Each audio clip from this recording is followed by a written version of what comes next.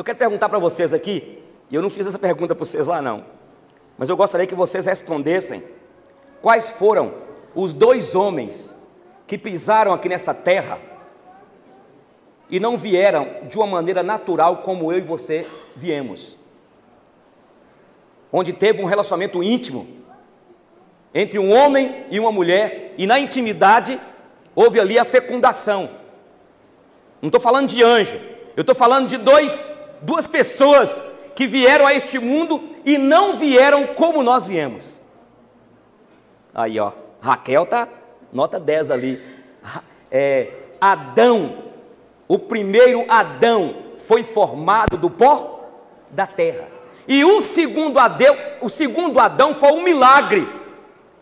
Quando Deus, o Deus que é sábio, aprove a ele escolher Maria, e Jesus, o segundo Adão, veio, veio pelo poder do Espírito Santo.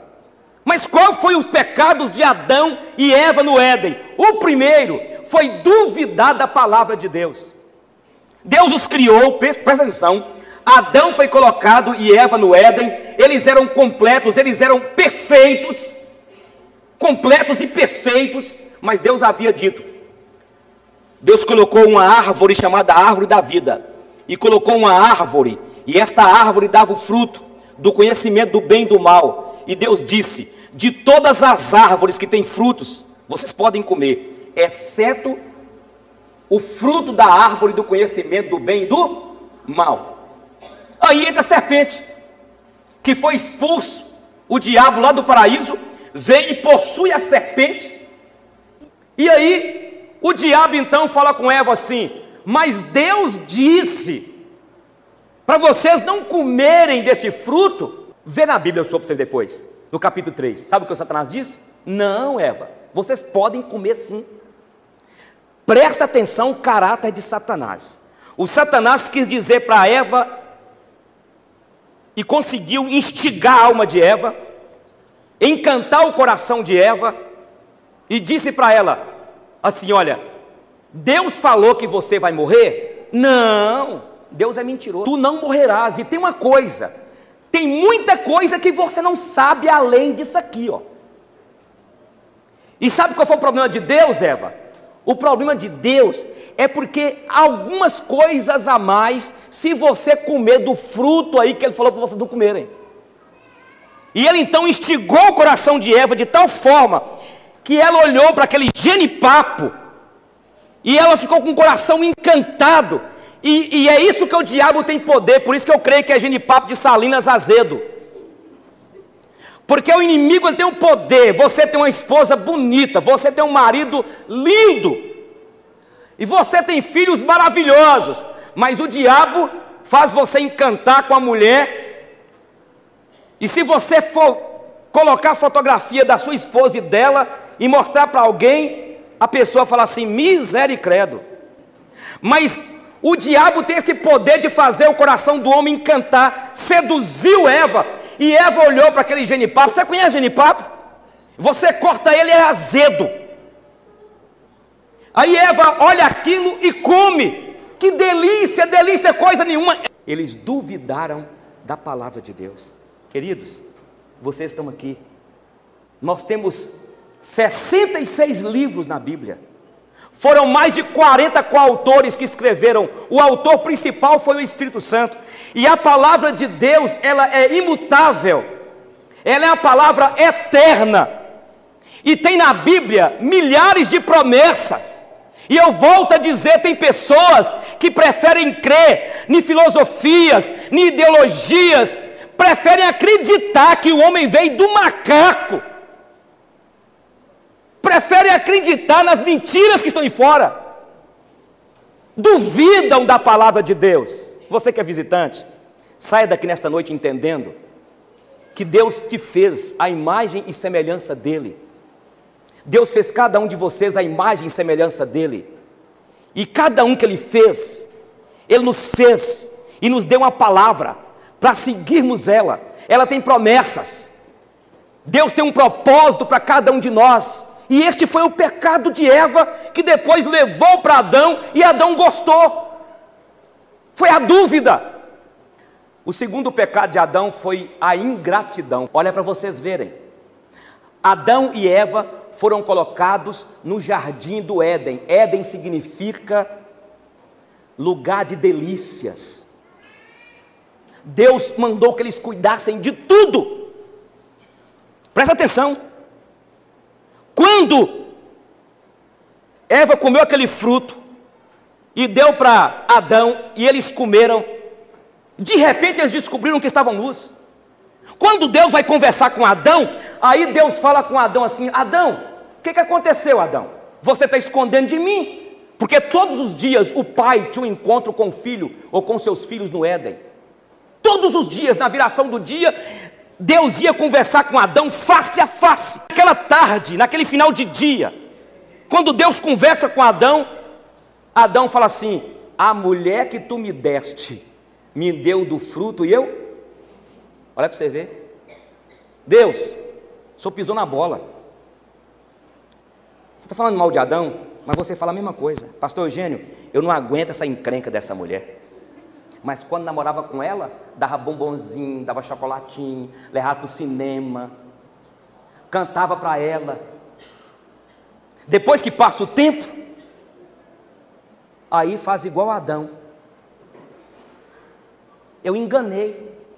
Não é assim? Então escuta, eu quero, eu quero passar porque faz a mesma coisa. Deus te deu filhos, meninos lindos. Aí você começa a comparar os seus filhos com o filho da vizinha. Conclusão: nós estamos repetindo tudo o que Adão fez. Nós somos ingratos. Entende, gente? A gente reclama da igreja. É o que eu falei aquele dia aqui. Você tem um Corolla 2019. Aí chega um colega seu com um Corolla 2017. A tendência sua é dar uma volta no Corolla dele 2017 e uma tendência ruim na gente. Você cobiçou, você cobiçou o Corolla do seu amigo 2017 e o seu é 2019. Porque a nossa mente ela quer recompensa e nós temos uma tendência terrível. E eu falei aqui, né, do Alan Peterson. Alan Peterson ele escreveu um livro sobre o mito da grama verde. A casa da minha vizinha é melhor, o carro do meu vizinho é melhor, a roupa da minha irmã da igreja, onde você comprou essa roupa? O cabelo que a irmã minha, que a irmã fez essa semana, quem foi o cabeleireiro? Mas o cabelo ficou chique demais, que isso? a tendência nossa é essa, a tendência nossa é a ingratidão. Então, em nome de Jesus, vocês estão aqui, e vocês que estão aí, nesta noite, fala com o Senhor, muito obrigado pela esposa que eu tenho, pelo marido que eu tenho, pelos filhos que eu tenho, pela empresa que eu tenho, pelo emprego que eu tenho. E eu quero dizer para você, querido, a Bíblia diz: em tudo devemos dar o quê?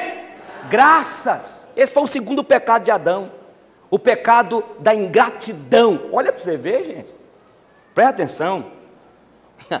Adão e Eva eram perfeitos, perfeitos, moravam no ambiente, num lugar perfeito, e mesmo assim, eles resolveram atravessar a linha divisória.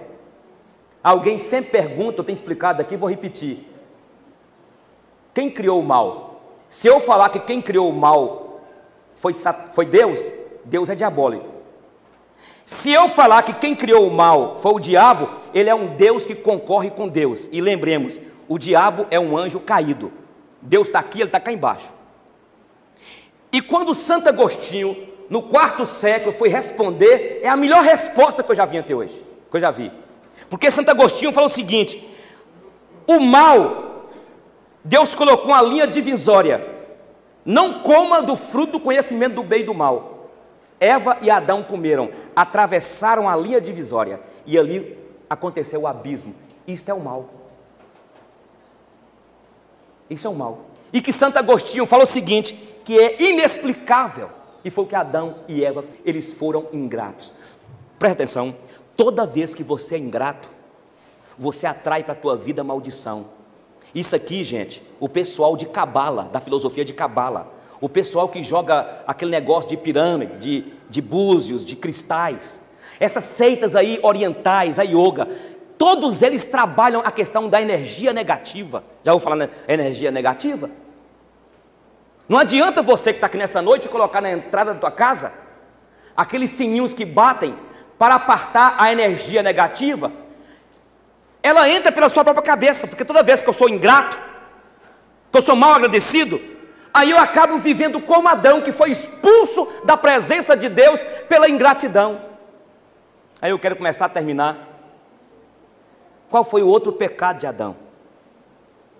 Além da ingratidão Deus os colocou no Éden, tudo perfeito, tudo maravilhoso. A serpente ficou na cabeça de Eva, e cuidado, mulheres, o inimigo é assim. Você sabia que o homem ele é atacado pelo olhar, sabia? Sabia não? Pois é. Quem derrubou Davi foi uma mulher chamada Betseba, um mulherão. Davi tinha os olhos, não usava óculos igual eu. Quando ele olhou Berseba, traga lá, não estou aguentando. A minha libido explodiu.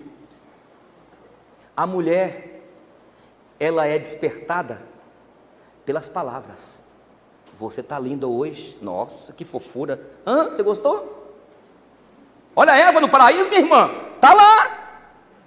E a, o diabo é astuto, ele sabia que ele ia colocar na cabeça de Eva. Eva, Eva, presta atenção.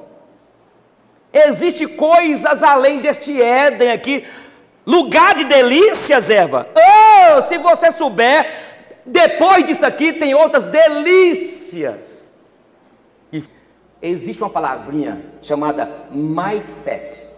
Mind significa, na verdade, é mind, significa mente, mentalidade. Sete, configuração. Sete tem outras explicações, sinônimos, mas significa configuração. A sua mente foi configurada. A mente aqui é como se fosse o Windows ou o Linux. Aqui atrás nós temos o cérebro, o cérebro, como se fosse o, o hardware. E aqui em cima tem o córtex. Aqui tem uma caixa preta. Sabe o que você quer mandar no seu marido? Porque sua mãe mandava no, no seu pai. Ou então sua mãe não mandava no seu pai. Seu pai angustiava sua mãe, oprimia ela. Aí você fala, você está vingando hoje seu pai, sabe disso? Tem, tem homem que trai a mulher e vive uma vida assim, no pecado, porque ele foi configurado, está no hardware dele, aqui ó, está aqui. Porque a mente que é o Windows, por isso que nós precisamos de reconfigurar nossa mente. E Deus só vai fazer se você correr atrás. E a Bíblia está aí para nos ajudar.